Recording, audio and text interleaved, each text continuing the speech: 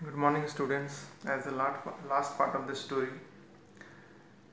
in the previous part, we have discussed that postmaster decided to help that person, that Lanko.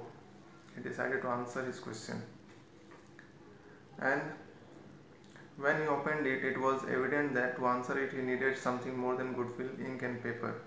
But he stuck to his resolution. He asked for money from his employees resolution means whatever he decided he had to he decided to do it. He was formed. Formed decision you can say.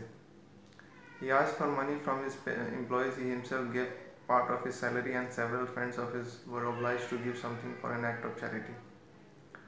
So not only the postmaster he also encouraged his employees to come forward and donate something as an act of charity.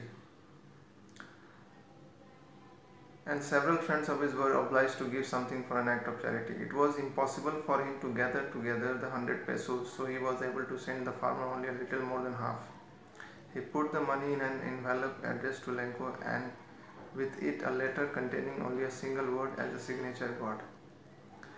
In this paragraph, what he did at that time it was impossible to gather 100 pesos at, at a time. So he decided to give as much as they can more than half. In the real story we have we know that the postmaster sent 70 pesos. That was sort of 30 pesos. And he replied the letter with a signature god there are some questions you need to answer. Oral comprehension check that who and what, what did Lenko have faith in? Lenko had faith in God. What did he do? He wrote a letter to God. Who read who read the letter? The postmaster. The postman read the letter. The postmaster read the letter. You can write. What did the postmaster do then? The postmaster decided to answer the question. He collected some money from his employees and he himself gave some part of his salary now the next paragraph. The following Sunday, Lenko came a bit earlier than usual to ask if there was a letter for him. One week he waited. He came on the following Sunday. You must be confused that on Sunday the post office was opened. It was like that. It was the postman himself who hand, handed the letter to him while the postmaster, experiencing the contentment of a man who has performed a good deed, looked on from his office. The same postman who has taken that letter handed the reply letter to the person Lenko. And the postman postmaster was looking from his office and he felt he was very happy to see the contentment means satisfaction on his face. Lenko showed no not the slightest surprise on seeing the money. When Lenko opened that letter and he saw the money, there was not a bit of surprise because he had a very strong belief that letter लिखे तो जवाब तो आएगा ही इसलिए वो surprise नहीं हुआ Such was his confidence, but he became angry when he counted the money. God could not have made a mistake, nor could he have denied Lenko what he had requested. और जैसे वो money को count किया उसको लगा कि पैसे कम है तो वो सोचा कि गॉड तो ऐसा नहीं कर सकते हैं। ये ज़रूर इन लोगों का काम है।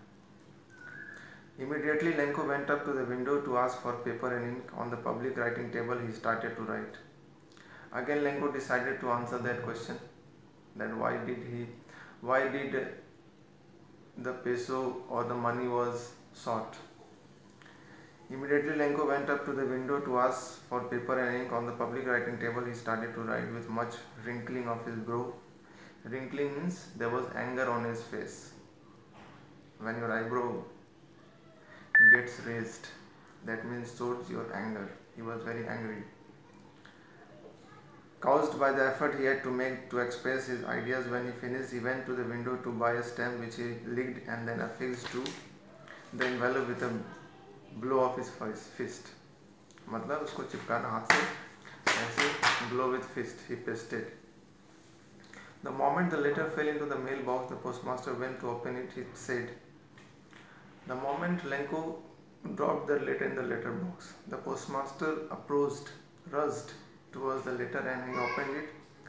And it said it said me what was the content. God of the money that i asked for only 70 pesos reached me. Send me the rest since i had it very much but don't send it to me through the mail because the post office employees are a bunch of crooks like it was the end of the story thank you